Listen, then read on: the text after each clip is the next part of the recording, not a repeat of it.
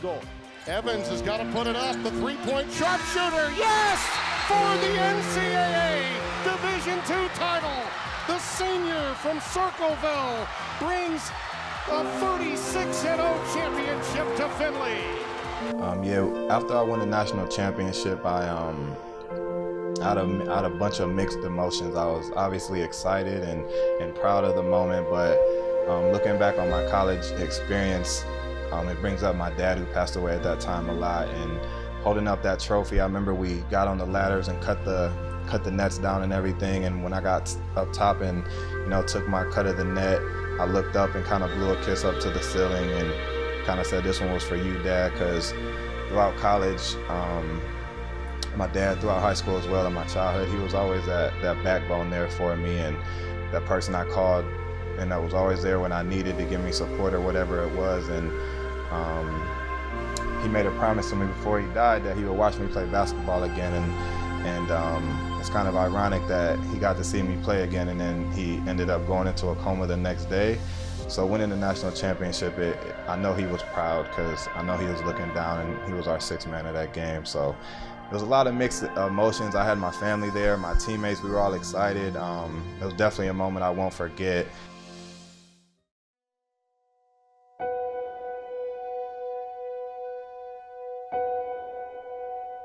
And the doctor told my dad that he had four to six weeks to live, and it's just something that I, I think a 20 year old kid or, or you know anybody honestly has a hard time to process when they say you know your father has has a month to live. And because of that i kind of just like stopped going to school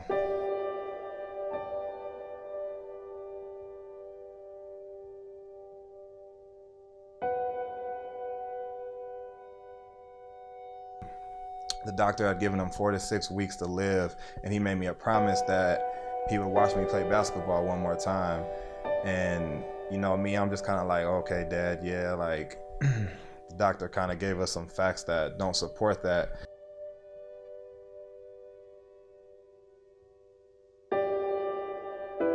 It was um, we were about to play the biggest game on our schedule ohio state university and it was the first game of our season and um, you know my dad's still alive and kicking it somehow he's in a wheelchair he couldn't talk at that time you like you could just kind of see he wasn't the man he used to be, but he was still there. And I had one of the best games I've had in my career, at least up until that time. Had a big night against Ohio State. We upset them. We beat them by two points, I believe. It was just a, one of those like edge of your seat games. And after the game, he kind of gave me a big hug, and I was kind of amidst all the all the excitement with my teammates and everything going on. And he kind of said that he was like, "I love you. I'm proud of you." He was like, I know you're gonna be okay. And and the next day, you know, he had a heart attack and slipped into a coma and he ended up passing a few days after that. And that's kind of like that was um a defining moment in my life, I think, because he told me he made a promise to me that he would watch me play basketball a game, and the, and the doctor said he had four to six weeks to live, and he stayed alive six and a half months longer than that. And it just shows you that if you put your mind to something, that anything's truly possible. Because he put his mind to something, and he went through tremendous amount of physical pain. Um, and it just blows my mind that after all that time, all the all the pain and tears and chemo and radiation, that he really the next day kind of kind of left us right after he kept his promise and gave me that last hug and looked me in my eyes and kind of said you're going to be okay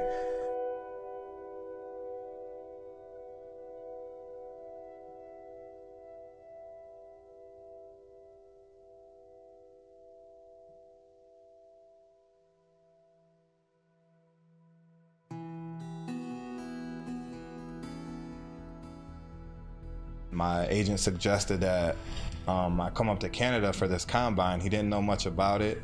I knew nothing about it. Um, something called the NBLC, the National Basketball League of Canada, and um, I kind of came up here just to, just on a long shot, just to see um, what it was and if I can get a little exposure or recognition somehow. And I came up here. I, I, I had no intention of getting drafted. Um, to be honest, I didn't even know there was a draft.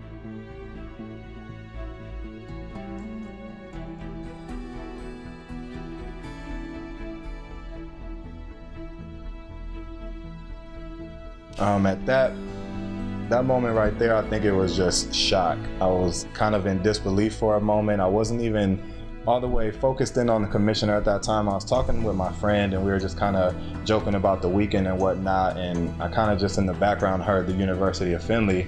And I kind of, that caught my attention. And I, I looked at the front and I saw Morgan Lewis from the University of Findlay as the first overall pick. And, you know, I'm walking to the front stage, I'm shaking the commissioner's hand. It all felt like a little dream at the moment because um, everything was so fast paced. It was followed by interviews and, and and newspapers wanted some quotes and stuff because the league was new at the time, so there was a lot of publicity and a lot of hype behind it. But that accomplishment of being a number one draft um, is something I was very proud of, and it was very a memorable moment. But it was like a short-lived victory, I think, just because training camp started a few weeks after that, and when when you're the number one draft pick, it sounds all good and looks good on paper, but at the end of the day, it's kind of a target on your forehead. And, and when you're going into training camp and into the preseason games and playing against these teams, you know everybody's coming at you. They want to know what what you can do that they can't do, or why these coaches saw something in you that they didn't see in them. So it's one of those like no nights off, no plays off, because if you take that that one play off, somebody's right there at your neck, like waiting for you to slip up. So it, it was something that I, I, really appreciate, but it was humbling more than anything because, you know, the more successful or the higher up you get in this world, I feel like the more you got to work and prove yourself and, and do that consistently. And I think the NBL draft helped uh, prove that to me.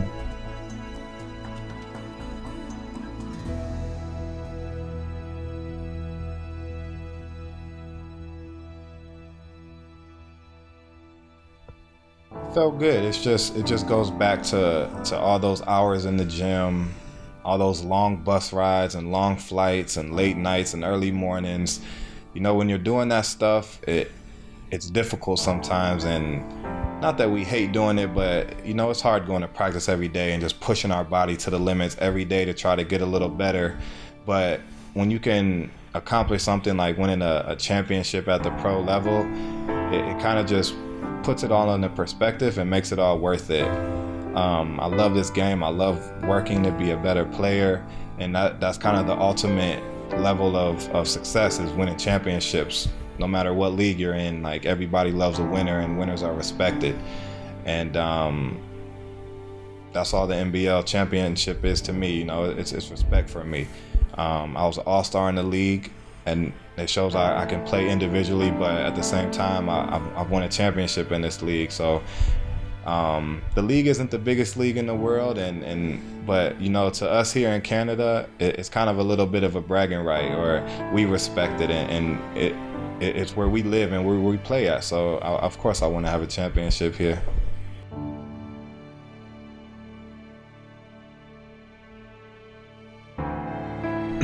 First summer living downtown.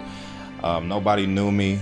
Couple, I mean, I had a little bit of notoriety in the NBL, but as far as the Toronto basketball scene, um, I mean, not, not too many people knew who I was. And the OVO tournament really um, helped me create my own lane, you know. Um, I was playing in the pro am, and I remember Banana he was at one of the games and he was just rapping to me after the game a little bit, like, where are you from? Who are you? Blah, blah, blah. And, um, you know, we exchanged info a little bit. He checked on me here and there, and then he came to another game. And um, after a few more conversations, he asked me if I wanted to play in the OVO tournament. And then the next day, I remember I couldn't believe it, and uh, Nico was calling me. Nico gave me a call and just said he heard that I can play a little bit and that they have this little this little tournament this weekend. They're gonna uh, bring me to to see how I am. And if all works out, then they were gonna have me play in the OVO tournament. And I went to the tournament and all all worked out well. Um, and honestly, that that's probably the best tournament I've ever played in the OVO tournament. Just the the hype, the atmosphere, um, the people in attendance. You know, there's celebrities, there's there there's sports stars, there's there's all type of different people, and um, it's really the scene to be at the end of July is downtown Toronto.